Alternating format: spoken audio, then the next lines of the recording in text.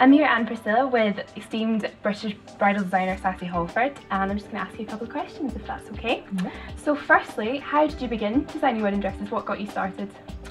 Um, I started when a friend of mine at school was getting married and uh, she just sort of said, well, no, oh, the only sad thing is I can't afford a wedding dress. And it just didn't dawn on me. I just well, I'll make you one. And 34 years later, I'm still making wedding dresses. Here, fabulous, absolutely. And how, in your opinion, has the industry changed since you've been been designing wedding dresses? In the time I've been designing dresses, the uh, the wedding world has changed considerably. I mean, the biggest thing would have been when you, you didn't have to just get married in a church.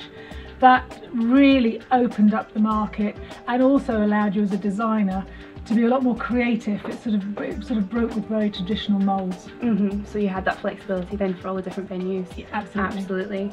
And how do you gain inspiration each year for every single collection? Obviously, having having such a broad range of collections, how do you constantly come up with new things? I think if you ask my husband, he'd say it's because I've actually got sort of an attention span of sort of a, a child. So as, as, soon as I've created a collection, mm-hmm. um, you find that then you it's almost like you're never satisfied. You then want to go and create again, continually improve, and you just want to improve. Um, but because bridal now runs and keeps an eye on fashion, you know you can be inspired anywhere from the Paris catwalks to to the high street to seeing your clients. Mm-hmm. So you have that wealth of inspiration to, it, to build on. Say there's it's around you all the time if mm-hmm. you're looking for it. Fabulous. And what would you say characterises a Sassi bride? Um, I always think a Sassi bride is one that has a quiet confidence about her. Mm-hmm. She is. She usually has a career, um, and she doesn't need to. It's an understated style rather than a screaming style. Mm-hmm. So I'd say she has an inner confidence. Absolutely, definitely, I would agree.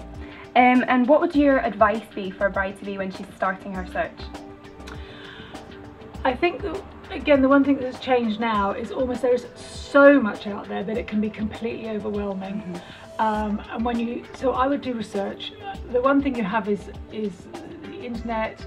Uh, you have magazines, and you, as you probably haven't bought a wedding dress before, knowledge is power. So mm -hmm. really, so do your homework before you go running around trying on lots and lots of dresses, and, and you can just get snowblind. So you really need to have a, a focus point but allow yourself to be advised by senior consultants that kind of know know their dresses. Mm-hmm. So take that take that advice and and mold it to your own style. Yeah, definitely get definitely get outlets that have got really good reputations. I do. My dresses only hang in shops that have you know impeccable reputations. That's really important. Mm-hmm.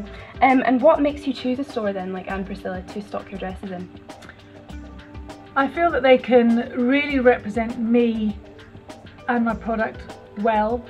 I know that they will look after the client. When you buy a wedding dress, it's not like usual shopping. It doesn't go in a bag. You don't leave the store. It's the beginning of a relationship. Mm-hmm.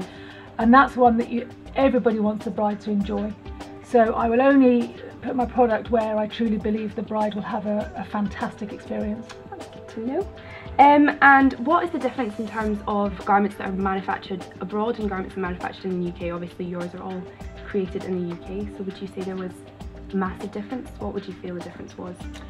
I'm passionate about my dresses being made in the UK. Mm-hmm. Um, I feel that we can add a quality and a service that I know can't be replicated. Um, I, you know, they, they can't get the the variants. You know, we can mm-hmm. do sort of bespoke pieces, and and every dress we make is made with a bride's name attached to that order.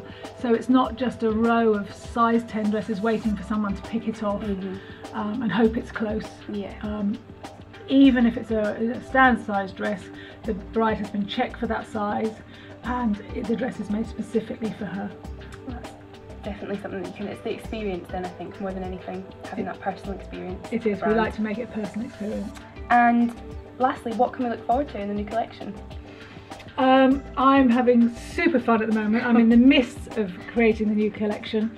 Um, I'm doing some, I'm cutting some real shapes this time, I think is the best way to put it.